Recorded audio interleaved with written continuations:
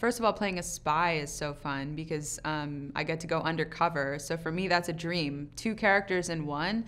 Um, and and of course, you know, being in being in a Guy Ritchie spy spy comedy, action comedy is is the best because there's a there's a style to it. Um, you know, he loves the kind of throwback Hollywood vibe, um, and so for me, that was also you know perfect I, because I I love old movies and I love I love that kind of energy, the kind of farcical, you know, like almost like yeah, like slapstick kind of stuff. And then and then I think the action part was really fun. I've never gotten to I've been in, you know, mm, I guess more like psychological thrillers, but I've never really gotten to, you know, show my physical prowess um, and you know shoot bad guys out of a moving vehicle. So that was that was a new thing for me.